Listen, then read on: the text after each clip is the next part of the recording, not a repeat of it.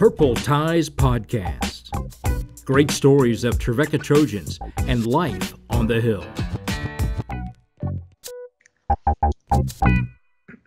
Hello, friends. Michael Johnson with you here on Purple Ties Podcast, episode 18. And I'm really excited about uh, this time uh, together here.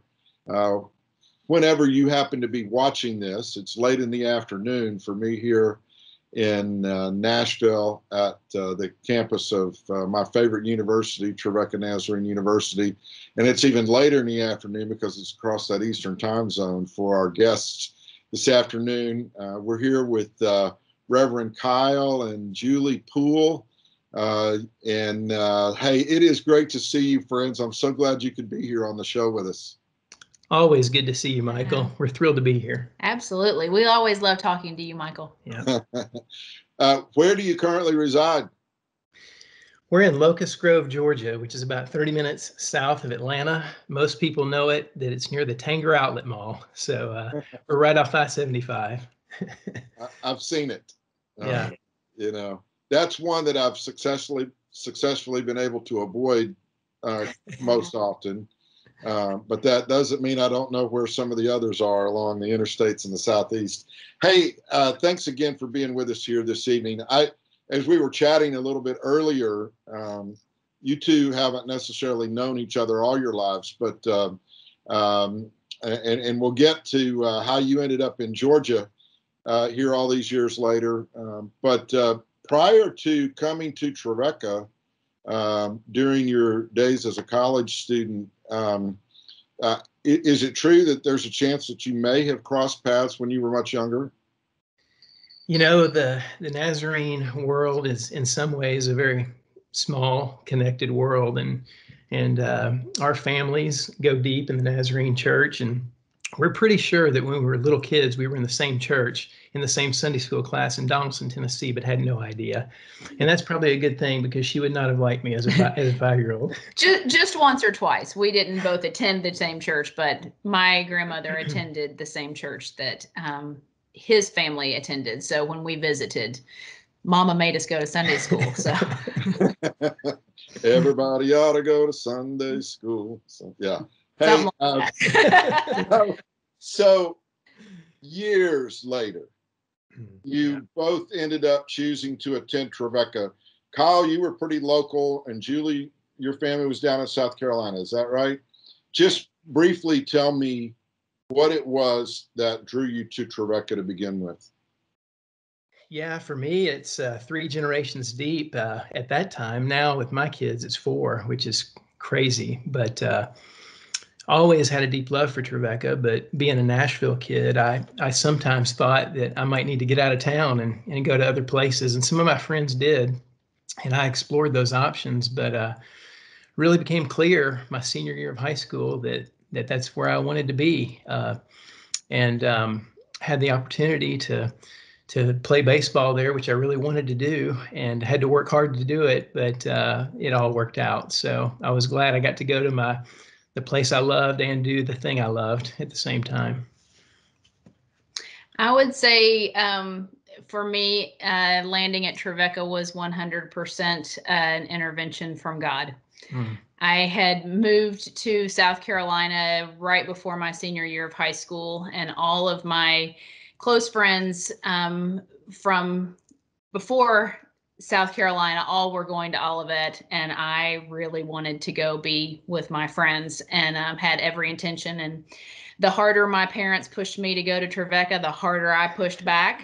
And um, then uh, it was a um, uh, the second annual TNT um, hmm. that I was at, and um, every time we would get off the bus on campus because we were staying off campus. Every time we would get off the bus on campus, I would have this uh, little tap on my shoulder, and the Lord say, "You need to go to school here." And I would say, "Oh no, I don't. I'm going to be with my friends."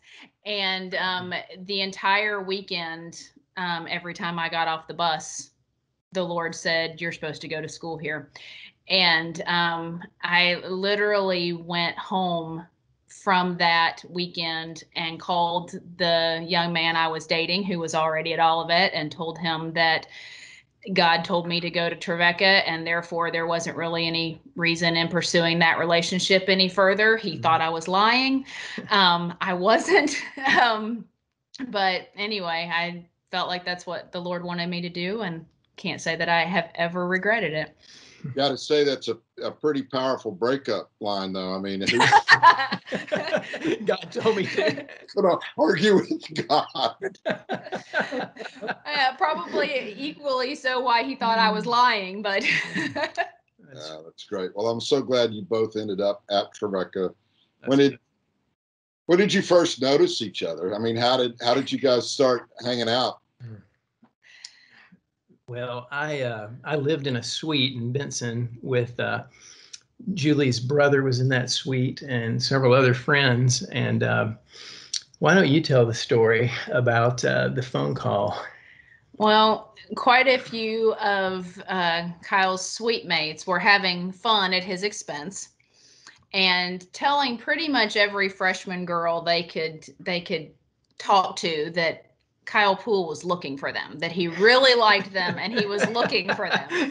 Yeah. And um, I didn't really know what to make of that other than I just thought it was weird. And so I think it was Scott Winchell who said that to me.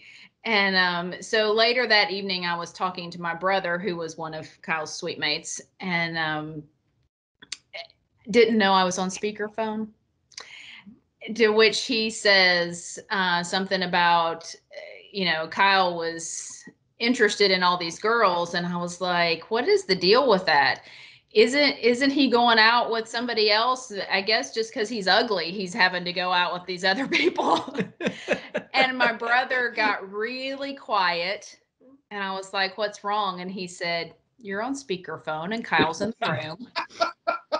Nothing like that kind of introduction, man. Uh, just laying it out there. First time, ugly freshman is the word. Ugly freshman. Isn't he that ugly freshman? And then, really, about three days later, he, he was standing in line in front of me in the caf and I was keeping my back to him to avoid having a confrontation about the fact that I had just said he was an ugly freshman. And uh, a friend of mine said my name, and he flipped around and he said, do you really think I'm ugly? Fantastic. I heard that name, Julie. Julie Bearden. Yeah, she's the one who called me ugly. Just confronted her, man. Well, no pun intended. It it ended up being a pretty beautiful story in the final analysis. yeah. And uh, uh, you you um, you've been married for how many years now? 30 years. We, in fact, it was December was 30, but we didn't get to travel. And this week, we are going to try to get away to somewhere warmer, where it's you know really cold here today, actually, um, in the 20s and and 30s. And uh, we're going to try to get down to southern Florida in the next right. few days and spend about three days together and celebrate 30 years, man. And uh, we we have a couple of other aspects of the story, you know, as it as it relates to Trevecca, but both of you come from families who have connections to Trevecca before, and now your sons have continued that into, uh, I guess, probably a fourth generation. Am I right? Right, right. So Jackson graduated what in 2019? Am I? Or yeah, that's right. Good memory. And then Curtis is uh, a junior this year. That's, that's right. You got it, man. Awesome, awesome. Well, they're they're terrific young men, and I know you have a lot to be proud of. The the Poole and Bearden families have been um, have been good to Trevecca, uh, and um, we uh, we are so grateful for that.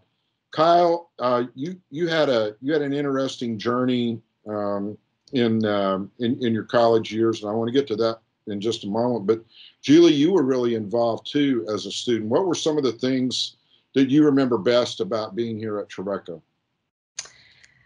Um, I would say probably, uh, other than my long-term relationship, um, probably the most significant thing was being a part of Sigma. Um, say four-year experience for me there with Sigma. is a lot of great friendships. It's been really, um, really fun just this last couple of years with some of the the ladies that are here in Georgia that I've gotten to reconnect with that were were there in Sigma the same time as I was. Um, great opportunity that I feel like I had there to learn a lot about service and um, a lot about good, clean fun and laughing, um, laughing with friends. Um, but that was definitely a, a, pretty significant part of my journey at Trevecca. Um, I was also a cheerleader for a year, and so um, met some great friends that way. Um, Missy White and Lori Glenn um, and and Vicky Osborne, who um, are all friends that I, I, still keep in contact with a little bit here and there. But um, that was that was a lot of fun, and uh, part of the teacher ed program too. So connections there that um, that made uh, I don't know. I didn't teach a long time, but uh, I think that part of what I've done for the majority of my career has involved a lot of adult education. And so that definitely played into it, even though it hasn't been in uh, necessarily school settings. And what's your current position now, uh, vocationally? I am a supervisor of about, um, as a team, there's five of us that supervise about seven or 800 online chat coaches for WW International. So it's uh, busy and it's 24 7 and um, it's fun to get to watch people grow in their in their roles and and use different skills that i've learned along the way to help them so that's fantastic kyle um, you ended up studying um, here at trevecca and playing baseball as you mentioned. You also got involved in uh, student government. Yeah yeah kind of a weird blend you know to be a part of the baseball program and you don't have a lot of time for other things but as as uh, my four years went on and there were some changes in the baseball program between my junior and senior year elliot johnson uh, moved on and uh, there were a lot of player changes and julie and i had a serious relationship and i had a call to ministry so a lot of things were changing for me and um, at that time i got involved in student government there toward the end my, especially my junior and senior year and served as uh, the student body president uh, one year, and that was a great experience because not only did I meet a lot of people there in Nashville and on campus, but other Nazarene universities all over the country, and uh, some of those people have been my friends for life. So pretty cool experience. It's great. You mentioned uh, maybe a highlight from being a part of the that student government experience. Uh, what what's the what's the one thing during your baseball years here? What what what's one or two just top shelf oh, memories that you could share quickly? Man, the uh, the district tournament in 1989 90, uh, that 89 team, we won the district championship.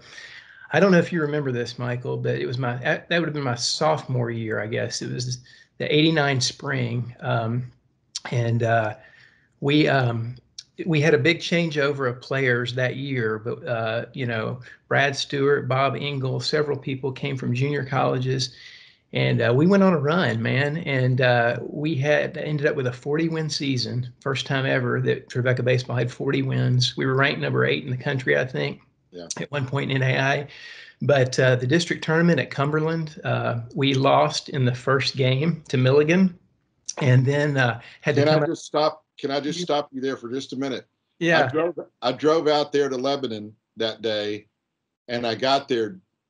I thought to see the last two or three innings. And if I remember correctly, I heard, no, we got run ruled. The game's already over. And and I said, You're kidding me. And I knew that when you lose the first game in that in that district tournament, there's virtually no way you're going to come back to win it. But anyway, uh, I was there on the Saturday. Uh, oh man, that was a long day um, we lost to Milligan uh, in the first uh, first game of that tournament. Came out of the losers bracket, started to win, beat Belmont, beat Lipscomb. Uh, on the last day, that Saturday, we had to beat. Uh, let me see. I think we beat uh, um, Cumberland in an extra inning game uh, for, on Saturday. Had to come at triple play was in that game. First time I've ever been a part of triple play. Dwayne Bolden, our shortstop, caught a line drive, stepped on second, threw to first, and and got out of that inning. Then uh, after that win against Cumberland, we had to beat Union twice, and uh, and so we we beat them uh, that first time, which was the second game of the day. Uh, Trevecca didn't want us to play on Sunday at the time, and uh, and so uh, they they said, well, we got to get special permission to either play on Monday or you guys can play the third game on Saturday and we decided let's play three. And our pitchers were exhausted, and we didn't know. If we, we ended up beating them uh, in game three, and so went to the area tournament and had a chance to play to get in the NAIA World Series, but that's another story. We went to Arkansas and sat for three days in the rain, right. uh, and, and and they never could play the tournament. Drove all the way to North Florida to try to play the tournament uh, at the the home field of the University of North Florida, I think, and they beat us. Uh, they're ranked number three in the country, beat us three to nothing. Uh, then we tried to play West Florida, and this torrential rain was still going on. Started the game three times. It was tied one to one in the sixth, and then they opened up in like the seventh and beat us, and and that was the end of the season. But it was an incredible run. I'll never forget it. So exciting. Yeah. You know, uh, I don't. I mean, I've worked here at Trevecca for so long now. It's hard to pick out any singular memories in in some respects. But one thing that I have learned is that there are no memories like college memories, right? Oh, you man, know, I mean, those years are just are just so special. You went on there to from Trevecca to Nazarene Theological Seminary and um, and then then you began uh, a, a, ministerial career. Walk us real quickly through all of the different places you've served and and now um, where you're currently serving. Uh, just kind of give us a little bit of a chronology there. I think it might be interesting. Never dreamed I'd be a pastor. Grew up in the church, but that was not on my radar. It was at Trevecca where God radically uh, transformed my life my sophomore year and called me to ministry. I was scared to death uh, had a was a business major actually at Trevecca, and Corliss McGee was my advisor. And I said, uh, Corliss, what do I do? Uh, you know, I'm called to ministry, and I've got these business classes. And she said, Kyle, I think it'd be good to keep a business major, but you need more religious studies. And so Don Dunnington, who was the chaplain still at the time, uh, kind of showed me how I could get a religious studies minor and meet the prerequisites for seminary, still get the business major. So did all that. Julie and I's relationship uh, accelerated. We got married our Christmas break of our senior year. Uh, moved out to Kansas City to go to seminary. Uh, worked for NYI Ministries uh, while I was in seminary for several years with uh, Gary Sivewright, Fred Fullerton, NYCs. Um, learned so much. Worked at Kansas City First with Jess Middendorf and was in youth ministry there. Um, in 1997, um, answered that call to be a pastor and, and left uh, what I loved doing, but really felt the call to be a senior pastor. So we went to a little country town in East Texas, uh, one stoplight, Grand Grand Saline. There were two. okay, I'm sorry. Um, uh, Grand Saline, Texas, uh, on the Dallas district, and uh, those people were so good to us. Uh, we loved them; they loved us. And um, we stayed for three years until we got a call to Gardendale, Alabama. And uh, we uh, answered a call to Gardendale and stayed there about seven years. And uh, great church, great people just north of Birmingham. Uh, had a large school and daycare, still still do. Um, learned so much. I don't know why they took a chance on a 30 year old at the time. We went through a building program and uh, just had great days there and then got a call kind of to come closer back to home, uh, just north of Nashville to Gallatin, Tennessee. And uh, honestly, when we went to Gallatin, we thought we'll probably be here forever because it's it's home and it's Nashville. Um, after a flood in Nashville, um, we were remodeling, kind of had our heads down doing ministry, and um, Dr. Eddie Estep reached out about a call to Midland Valley in South Carolina, and we thought, man, we don't know. We haven't been here in Gallatin long enough, but we couldn't get away from that call, and that call to Midland Valley uh, ended up just being just a match made in our minds in heaven. Um, we love those people and, and love that church. Some of our best friends in the world are at Midland Valley, South Carolina, and uh, we're there for almost eight years until we were elected to to this role as a district superintendent in Georgia. So uh, it's cr- a crazy ride, but we're just still saying, "Here we are, God." You know, Julie, uh, your husband is a district superintendent. dad, your dad was a district superintendent. Did you ever, in your wildest dreams, you know, think that you're going to end up in that in that role someday? Oh no, no, because I said I would never marry a preacher. but these are the things God does to you when you fall in love with an accounting major and and God pranks you. Um it, you know, I, I find it entertaining at mm-hmm. times uh, how many of the same, I guess, turns in the road that happened to my mother have happened to me. She also said she'd never marry a preacher. And, and she did. And she also said she would never ever want to be a superintendent's wife. And she was. Mm-hmm. And I said those same things. and so Be careful. Here, yes. Yeah, so I maybe I should quit saying I won't. but um, it's it, one of the things I think has always helped. I remember my mom telling me that um, when she was trying to decide whether she would marry my dad, since she didn't want to be a minister's wife, that she asked my aunt Justine what she thought about it, and my aunt Justine said it's a lot better if you love the pastor. so if you love the pastor, you'll be okay. I think it's really great that both of you have mentioned names of people that were special to you during your college years. And as we draw to a close here uh, with this uh, with this episode, Kyle, I wonder if you could take just a moment to pay tribute to um, one of your teammates who um, as we've announced here in, in recent days, uh, lost his life in a tragic auto accident. What are what are a couple of memories that you have about Brad Stewart? We came out of a baseball season in my freshman year, 87, 88. We had a lot of talent but did not achieve. And um, there was a big turnover, and we wondered what would happen. And my sophomore year, these guys from Illinois came in Brad Stewart, Bob Engel and then we had great people like Clay Boone who stayed on the team, and and um, that team just gelled. And one of the reasons that team gelled was was because Brad was a leader. Brad was the kind of guy that that really pursued excellence, and everybody else around him saw that, and he caused us all to rise to a higher standard of excellence. He believed in not only knowing the fundamentals, but but executing them. He did the little things right he was a competitor, hated to lose, whether it was baseball or basketball or ping pong or, or a debate. Um, but uh, just really, and his foundation was in the Lord. He wasn't a Nazarene guy. That didn't matter. Most of our players weren't Nazarene, uh, you know, but uh, there were a couple of us on the team, but we all just were part of a family, not only a baseball family, but a family of friends. And um, when we got the news that, that Brad had been killed in this tragic accident, some of us who hadn't connected in a long time immediately began to reconnect.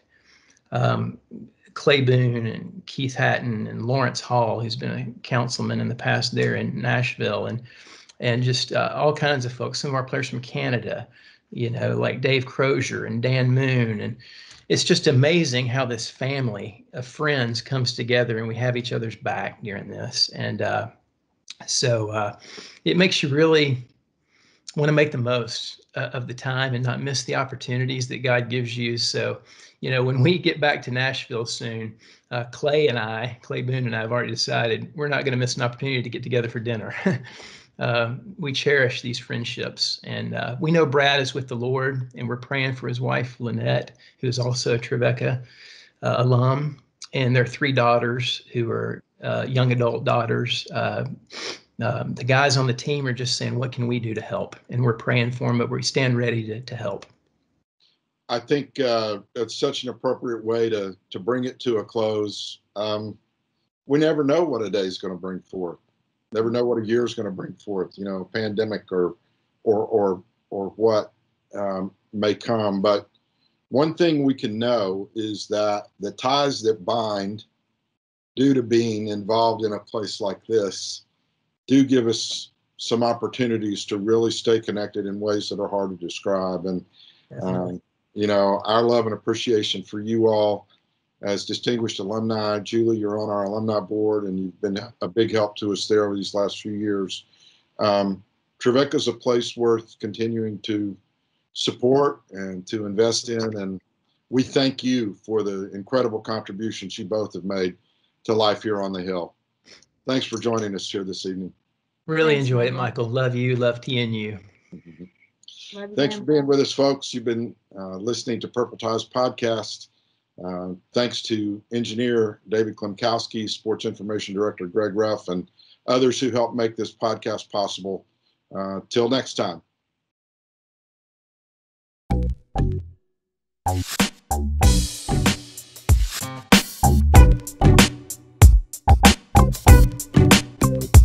Purple Ties Podcast.